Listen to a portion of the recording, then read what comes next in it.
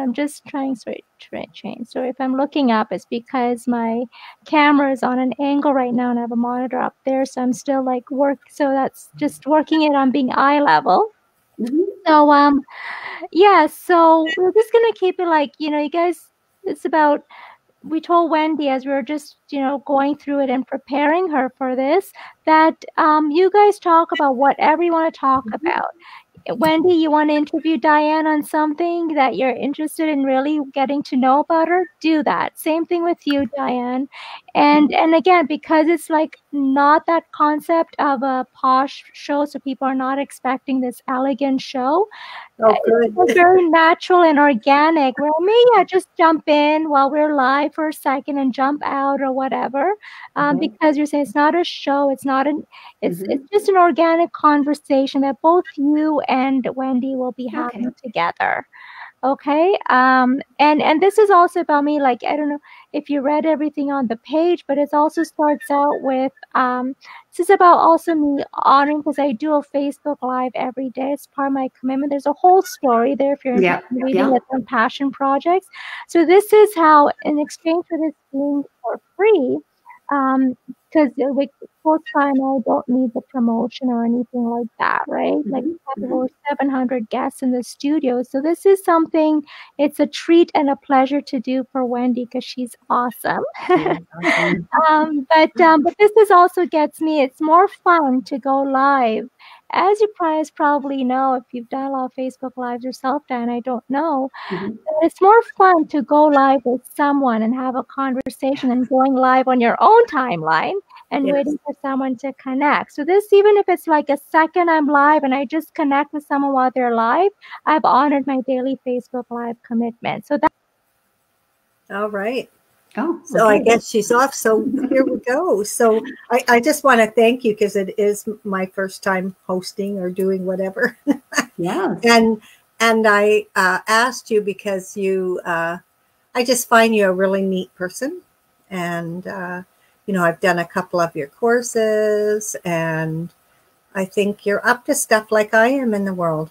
So I guess one of my questions uh, to ask you is what do you want to talk about? What what's what lights you up?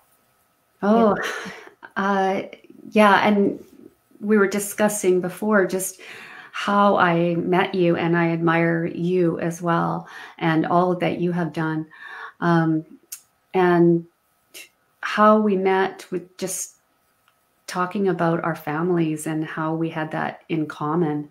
Yes, it. Uh, uh, just that alone, how it was not a coincidence, because I don't believe no. in coincidences, uh, just that alone really lights me up. Yeah. It really does. Yeah, I learned about your daughter and you learned about my daughter and wow, it's amazing. Yeah. It really is. It really is. Yeah. And what else uh, is um, I wrote a question down. What is your biggest pride and joy? Besides your kids. yeah. yeah, my my biggest pride and joy is really um, if we're going to look at um, the business side, which turns out I find for me being an entrepreneur, it's it's an overall it doesn't feel like just business and i think you and i were discussing that as yeah. well wendy how yeah. how uh, being an entrepreneur we don't even know whether it's saturday or sunday yeah. and, and uh, having the live your life now three day event um, live your life now and beyond uh, has really really been my pride and and joy for what has come out of it for people. And just some people just saying that it was the most um, transformational experience they've ever had. And and you know yourself, sometimes you you feel like you're kind of alone. You keep building and you keep uh, uh, building your products. Yeah. You you don't really know how yeah. it's going to land and are they going to get some of the things that you received and mm-hmm. um, and just find finding this out and getting that just that one thing, that gratification of just, ah, I never thought of it that way. Just Yes. that, those words, oh, they just, they fire me up. I love it when I say it, and I love it when others say that. It's like the aha moments, I guess you can Yeah. say. Yeah, Do you I- believe that? I- I can't remember the exact aha moment because I get a lot of aha moments. yeah. but but I know it was really valuable that I I was glad that you invited me to come and um, you know I listened differently. Yeah, I listened differently. You know, and um, yeah, so it, you know what you do di- is makes a difference, right? Yeah. Yes, yes, and it, yeah, it was um, interesting the friendships too that develop over that because you're working so close with each other, Yes. and uh, and it it's um, you know it's tempting in the past to just give up and say okay, like why am I not just doing a nine to five job where I can Yes. end it on that date at that Yeah. time and just go. But you know that uh, making a difference, a bigger difference. I can believe. I believe that when you're working in a company and uh, as well, people make a difference being there. Oh yeah. it's huge. Yeah, people can, that- yeah. That's it's not just all about that. But for me, I found it. I found my purpose, my passion with doing this, and I just, I just Great. and that's what I feel like with you, with the two of us. Yeah. I feel that we have we're on the same same page. And I really- Yeah. Yeah. Yeah. And um, friendship. y- you know, out of uh, so creating, you'd been wanting to create a workshop for a while, and are are you? Um, what else brings you joy in your life? Um, you know, I I know um, for myself, uh, it's not just Mhm. my entrepreneurship, but it's the people I meet and the you know i'm like like i'm in the middle of writing a book and well i've written it but now i'm learning how to do the stuff i need Yes. to do to put it out there um, and um, you know my life is pretty full and i know yours is so Mhm. what fulfills you in your life what are you i'm not even sure what to ask like Yeah, yeah. I, I'm going to say that I too am writing a book. I've been working on it for two years now. oh wow, awesome maybe i can help you if you need any. Yes, I would. I would like some help with that. Um, it's uh, it's called uh, well, it's love and trust. It's all about love and trust, but it's not necessarily about just the love and trust um, outside, Mhm. uh, but internal love and trust. Yes. Like, do you mean internal love and trust, like our own love and trust of ourselves? Yes. Is that what you're talking about? Yeah. Yes. So the internal, internal uh, feeling, the emotion Yes. of loving and trusting, knowing that uh, even having this conversation with you live right now, yeah. loving and trusting the organic part of it and and allowing it to unfold and not to hold on to any uh, fears or or um, any kind of emotions that that won't allow the truth to come out and the trust to come out Oh, very good. Yeah. and it, yeah there's there's so much involved in that and i for me it is the base it's it's really starts from there. It's almost like the fertilizer Yes. in, in the gro- in the ground. Uh, so even ri- driving on a scary road we driving and i was with a friend and and it was slippery.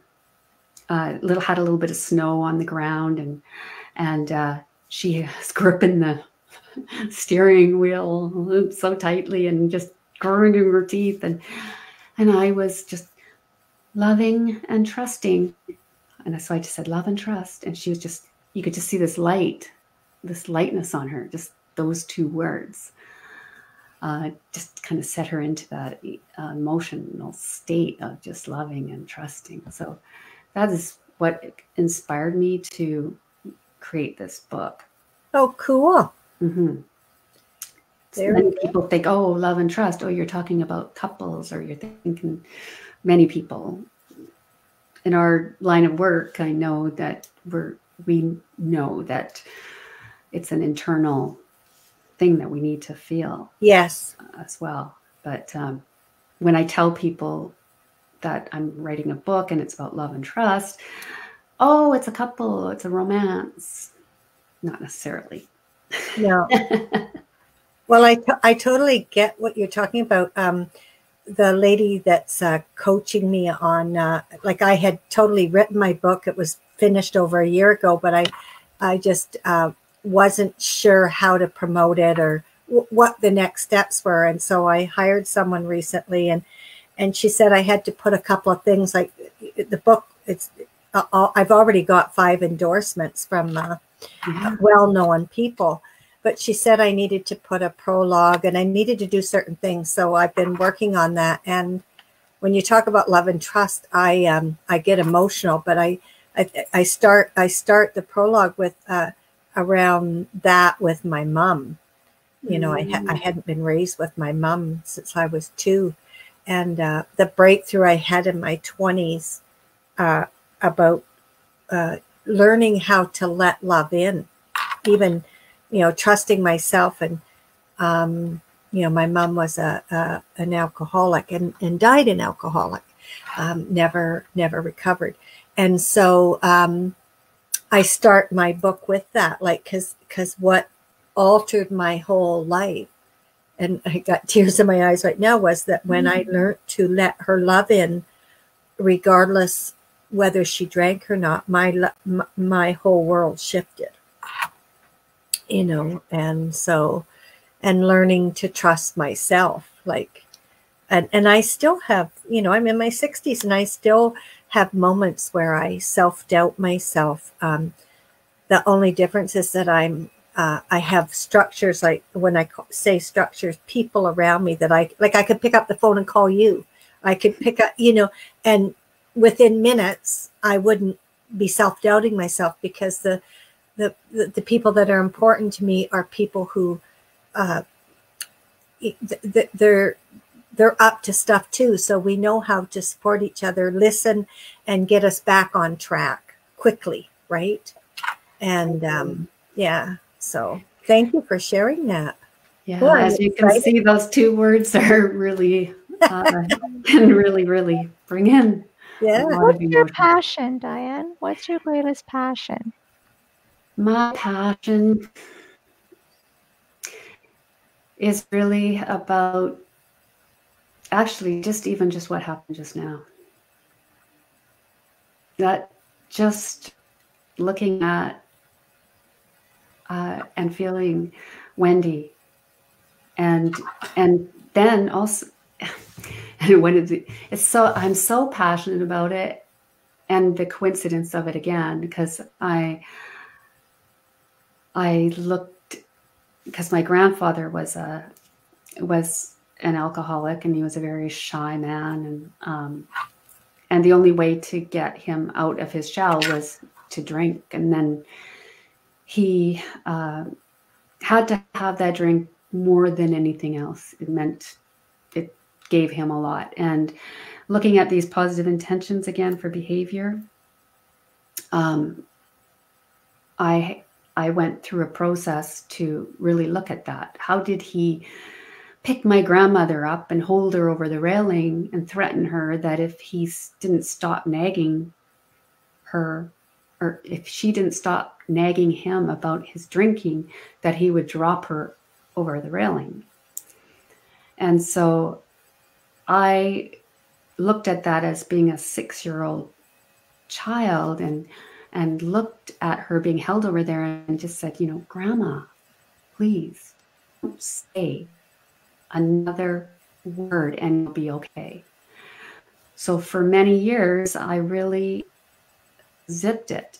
I didn't say anything. I was afraid I would get choked up. Like, uh, just automatic dry throat as soon as I wanted to say something. So my passion really is about being vulnerable and sharing our story. It's I'm I'm passionate to hear about people's stories, how it's led them to where they are today. Um, and it moves me and it drives me and the why and uh, I don't know if that answered the question because I could go on and on about passion, but that, but that is it's a huge thing. There, there's something that stemmed from. It.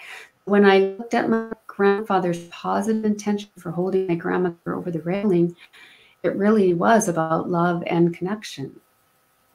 He he um, received love and connection through his drinking, I believe, um, because he was so shy he couldn't talk, but when he drank, he was able to. So it was actually something good that he was intending to get. And when my grandmother was trying to stop him, because prior he had just fallen down the stairs, had blood pouring out of the top of his head, and um, watching him climb back up and have another drink, um, I was thinking, what can be positive about this? But when I looked at it and it was just about love and connection, um, I'm very passionate about positive intentions. And, and where do you learn about positive intentions? Like you teach that. So what do you? Yeah, it's one of the things that that uh, when you do look into neurolinguistic programming, they talk about always looking at the positive intention and being curious, uh, and that everyone has a positive intention, even though the behavior doesn't match the intention. Like you were mentioning before we came became live, you mentioned um, about your your granddaughter. Yeah fighting. fighting, right? Like that behavior is unacceptable and it can make us very upset with yeah for biting us, whether they're child or whatever. Yeah. Uh, however, looking at that positive intention and hoping to get another behavior for getting the same yeah. intention. So my grandfather drinking in order to get love and connection to be able to talk is there a way we can work with him. Just he's not even alive anymore. He drowned actually drinking. Um, but what if you look at that story what could we have maybe worked through to have him get love and connection without having the behavior of drinking too much? Is possible. Yeah. And looking at those possibilities that one of the things that i love about you and and i probably love about myself is that you know traumatic things happen but we tend we get curious and we see a positive out of it. And, and I, I i just love that about you. And and i love it about myself too. Yeah. And I wouldn't have been able to say that, you know, even 20 years ago. I couldn't have told you I love myself. Um, but today I do, and uh, and and it's pretty cool. So thank you for sharing that. It's a, a, a powerful, powerful story. There's there's something else you you you, you when when um, I was telling you about Samina and eleven eleven. There was something you that that triggered for you, and you said, "Oh, I love eleven eleven or something." What's that? okay, uh, so it started with uh, when I met my husband. We would notice always on the clock all these great things that would be happening right at 11 11 and we'd say oh my gosh look at the clock or it'd be 111 and uh, this this went on and on. And i i lived in an apartment and bruce my husband worked up north and the apartment number was 311 So he came over and we're, uh, I just finished work. I came home and I was getting out of my work clothes in the back room. And uh, he was sitting in the living room with my, with uh, my brother-in-law, his brother that came in from Edmonton. And the two of them are sitting chatting. And this couple walks through our door, my door, because my husband doesn't live there. He's my boyfriend at the time. Walks through my door with their baggage, and and uh, we're in our early twenties, and this couple is probably in their fifties, and they they uh, put their bags down. They go, "Hi, Bruce. Oh, nice to see you. Um, where's Marnie?" I was like, "Marnie, like," and that is my husband's ex. this is my husband's ex parents walking through my apartment. Ah. Okay. So he goes, and there's no way that these people would even know that I live here. Okay. So it turns out they go, well, this isn't this apartment number 311? Yeah. Well, Marnie lives in 311 across the courtyard. Oh. her boyfriend. So it is this ongoing 11 things. So then we decided, you know what, this 11's coming up so much, we're going to plan our wedding date. Let's look in the calendar and find a Saturday on the 11th. Oh, nice. And so it's been an ongoing, ongoing process. So August 11th, 1990, we got married just by choosing. That was the only Saturday that fell on the 11th. it goes on and on. And uh, Bruce's dad's birthday and 311 and yeah, just and then I found out that there was more meaning to Yes. uh, that being on the right path and and all of that. And then you asked me to be on this show, and I was it's one eleven or or eleven eleven. I went, oh, really? What does eleven eleven mean to you, Wendy? What does that number Yeah. mean to you? It doesn't, you know, the, the thing that I think of uh, uh, um, is a sad thing about the, you know, the towers. Like, that was another. yeah, you know, so that's, I, I, other than that, it doesn't have a lot of meaning to me, except for when I uh, uh, read about Samina. Uh, then it's like that, that has another meaning now, but um, that doesn't have a lot of meaning to me. Well, yeah, and my daughter was diagnosed with type 1 diabetes on the same day that the uh, 9/11 we were just driving to the hospital to learn how to give her insulin Ah, on that day. yeah.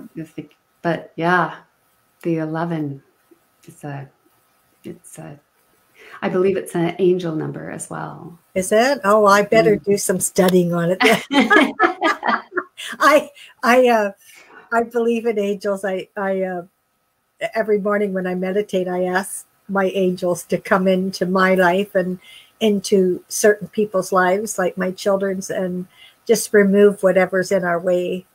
Um, work with our other angels so that we get out of the way whatever's in the way, so that we can all flourish. And um, you know, I I believe that all my life, because some of the you know, I went through some pretty traumatic things as a child and, and as an adult, and I really believe it, the angels have angels or God or whatever like has been there to protect us and guide us and um yeah yeah i just believe that yes. I uh, there's powers bigger than us, I believe. Too. Yeah. It's i was doing some energy work do you know jill fisher she uh, uh, she's in Tawas, anyways uh, she's a um angel you call it? therapist. A hypnotherapist and works with uh, it's incredible woman, incredible integrity, integrity, and uh, and I found out I got really I had over over eighteen thousand some odd angels looking over me, and ever since I found that out, I'm like, yeah. and and what lifted and this might sound really corny, but I've uh, I the, I've often or frequently felt very alone in my life, um, even when there's people around. And when I uh, did that energy work and discovered that I had all those eight, I never, ever since then, I, and that was a few years ago, I never feel alone. Like I just, you know, I just never feel alone. It's like, oh, the angels are there. Like, not like I'm going to do something stupid, but it's like, wow, I, I, I, I never you know, I do lots of things alone, and I and uh, but I don't feel alone anymore. it's yeah, it's a wonderful feeling. I agree with you. Like just knowing that, um, oh man, if it was all just completely up to me without knowing that there are outside sources to yeah. give me downloads and yeah so comforting to know that i don't have to come up with everything. Isn't that great? It is.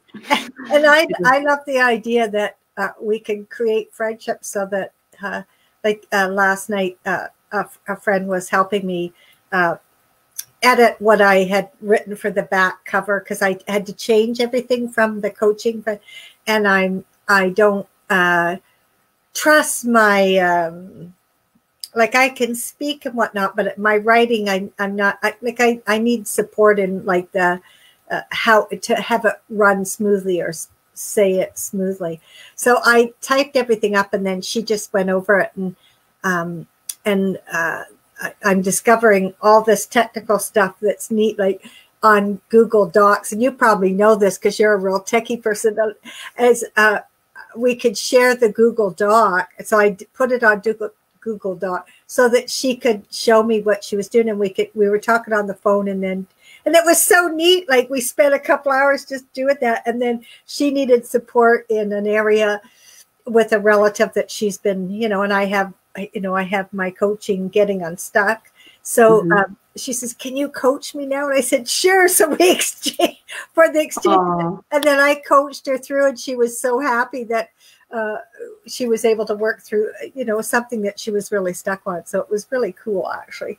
So I just love your name for that. That getting unstuck is just so so freeing. yes. Well, I, I find we, we, including myself, there's times where I get stuck. That's why I have structures like people I can reliably call on. And um, that's why I'm ongoingly doing courses and to learn other ways. Because I don't know about you, Diane, but when the, the more I expand, the more challenges I have.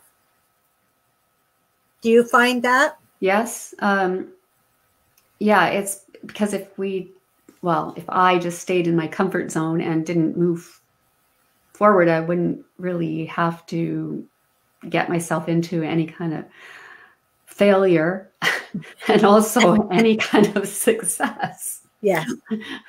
it's uh it's yeah, the more the more I climb, the more I fall. Yeah. Yeah. But that's okay. Oh, absolutely. absolutely. What has been your biggest challenge, Wendy, that you don't mind sharing about with us? Oh. Hmm. That's a big question for me because there's been so many challenges. But maybe the uh, the biggest challenge in the last ten years, or uh, would be uh, to start my life over again. Um, leaving my uh, former husband and um, you know he i was left with very little money um, he, and uh, and to learn to start over again and I, I took him to supreme court i had to learn how to do that i had no money for a lawyer and um, just i guess that biggest challenge was that it I could love myself and um, and love him too. Like he was going through whatever he was going through. Um, and I guess what it taught me was that to have compassion even when people are not treating you well. Um, but to get curious about like if I thought like him, he totally mistrusted and chose some ways of being that weren't very supportive and but if i was thinking like him i might have done the same actions so to i guess the biggest challenge is not to take anything personal anything and um and i needed to uh, have friends around me that could uh, walk me through some of the feelings and emotions. Not like not that I didn't have feelings and emotions, but that um because I did. There was times where you know I wanted to wring a few people's necks, but but it was uh, learning to not hold on to that, uh, learning to deal with it moment by moment, letting it go, and just moving forward and thrive. Yeah, that regardless of our circumstances